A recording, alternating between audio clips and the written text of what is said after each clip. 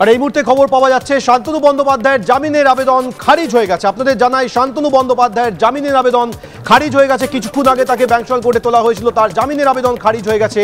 তেরোই মার্চ পর্যন্ত ইডি হেফাজতে শান্তনু বন্দ্যোপাধ্যায়। বলাগড়ের তৃণমূল যুবনেতা শান্তনু বন্দ্যোপাধ্যায়কে গতকাল গ্রেপ্তার করার পর আজ আদালতে তোলা হয়। তার জামিনের তরফ, জামিনের আবেদন করা হয় তার আইনজীবীর তরফে। কিন্তু সেই আবেদন খারিজ হয়ে গেছে। আর এদিকে শান্তনু বন্দ্যোপাধ্যায় আজ আদালতে ঢোকার সময় দাবি করেন, তিনি নির্দোষ।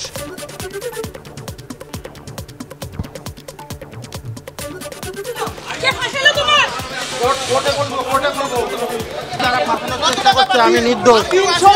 আমি নির্দোষ। আমি নির্দোষ।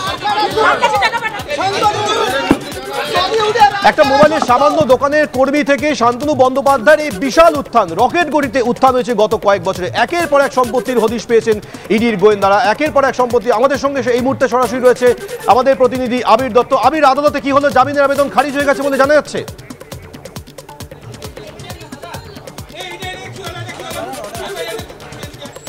শান্তনু বন্দ্যোপাধ্যায়ের জামিনের আবেদন খারিজ হয়ে গেছে। আমরা আমাদের প্রতিনিধির সঙ্গে কিছুক্ষণের মধ্যেই যোগাযোগ করার চেষ্টা করব। শান্তনু বন্দ্যোপাধ্যায়ের জামিনের আবেদন খারিজ হয়ে গেছে তেরোই মার্চ পর্যন্ত। শান্তনু বন্দ্যোপাধ্যায়ের ইডি হেফাজত হয়েছে। আমাদের সঙ্গে রয়েছে আমাদের প্রতিনিধি আবির দত্ত। আবির ইডির তরফে কোন যুক্তির প্রেক্ষিতে বিচারক তাকে তেরোই মার্চ পর্যন্ত ইডি হেফাজত দিলেন?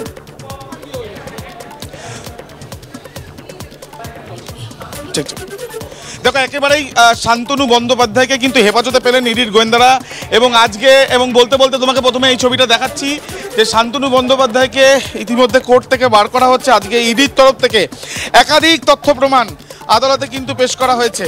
এবং এই যে তথ্য প্রমাণ আদালতে পেশ করা হয়েছে, সেখানে সুস্পষ্টভাবে তারা যেটা গুরুত্বের সঙ্গে এখানে দিয়েছে, বলেছেন, সেটা হচ্ছে যে ওনার নামে, বেনামে বেশ কিছু সম্পত্তি আছে, জমি রয়েছে যা নিয়ে তারা তদন্ত করছেন। তারা যে আইটি ফাইলগুলো পেয়েছেন, সেখান থেকে তাদের বক্তব্য যে ইভান কন্ট্রাক্ট প্রাইভেট লিমিটেড নামে একটি কোম্পানি রয়েছে, যে কোম্পানিতে কালো টাকা সাদা করা হয়েছে বলে তাদের অনুমান। এবং একটি ধাবা বানানো হয়েছে, সেখানেও কালো টাকাকে সাদা করানো হয়েছে সাদা করা হয়েছে বলে তাদের অনুমান।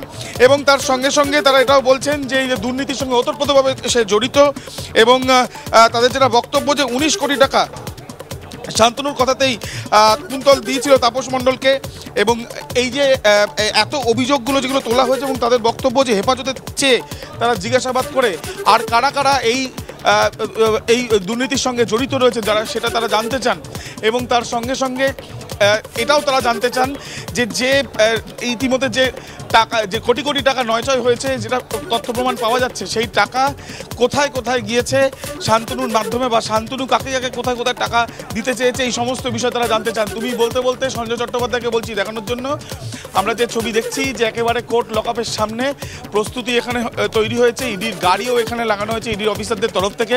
আর কিছুক্ষণের মধ্যে বার করা হবে শান্তনু বন্দ্যোপাধ্যায়কে, শান্তনু বন্দ্যোপাধ্যায়কে যখন আজকে কোর্টের ভেতরে প্রবেশ করানো হয়েছিল, তখন তিনি তিনটে কথা বলেন। প্রথম বলেন, জেলে বসে তার বিরুদ্ধে ষড়যন্ত্র করা হচ্ছে বা তাকে ফাঁসানোর চেষ্টা চলছে। দ্বিতীয় কথা তিনি যেটা বলেন যে তাকে তার তার কোনো তার কোনো যোগ নেই বা তিনি কোনোভাবেই এই টাকা নেননি। এবং তৃতীয়ত তার যেটা বক্তব্য তিনি কোর্টে বলবেন। কোর্টে তিনি কিছু বলেননি। ইডির তরফ থেকে তাদের বক্তব্য এখানে বলা হয়েছে এবং তার সঙ্গে সঙ্গে যেটা বিষয় সেটা হচ্ছে যে আহ, একেবারে আমি জেলে যারা তেরোই মার্চ পর্যন্ত ইডি হেফাজতে নির্দেশ দিয়েছেন আদালত এবং শান্তনু বন্দ্যোপাধ্যায় যাকে গতকাল গ্রেফতার করা হয় এবং তারপর আজ বিপুল সম্পত্তির হদিশ সামান্য মোবাইল সারাইয়ের দোকানের কর্মী ছিলেন এই শান্তনু বন্দ্যোপাধ্যায় কিন্তু একেবারে কয়েক বছরের মধ্যে একেবারে বেতাজ বাদশাহ বলা করেন শান্তনু বন্দ্যোপাধ্যায়। আর বাবা মারা যাওয়ার পর বলাগড় থেকে কিছুটা দূরে বিদ্যুৎ বন্টন নিগমের অফিসেও চাকরি পেয়েছিলেন শান্তনু বন্দ্যোপাধ্যায়। এবং স্থানীয় সূত্রে যেটা খবর, তিনি নাকি নিয়মিত অফিসে যেতেন না। এই মুহূর্তে ছবি দেখাচ্ছি, মোবাইলের দোকান।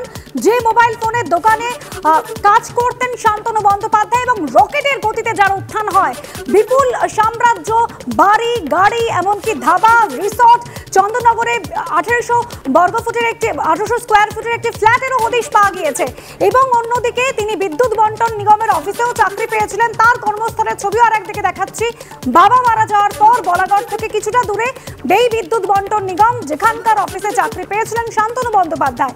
যদিও বলা হচ্ছে তিনি নিয়মিত নাকি অফিসে যেতেন না, নিরাপত্তা রক্ষীকে নিয়ে সপ্তাহে একদিন এসে সই করে যেতেন শান্তনু বন্দ্যোপাধ্যায়।